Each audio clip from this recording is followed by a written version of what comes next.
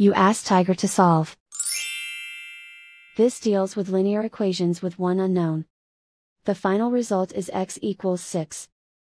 Let's solve it step by step. Group all constants on the right side of the equation. Add 9 to both sides. Simplify the arithmetic.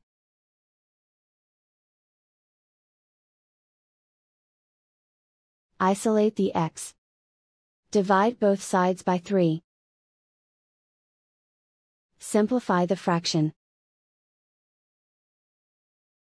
Find the greatest common factor of the numerator and denominator.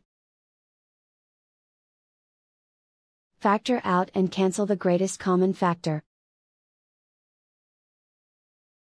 And so the final result is x equals 6.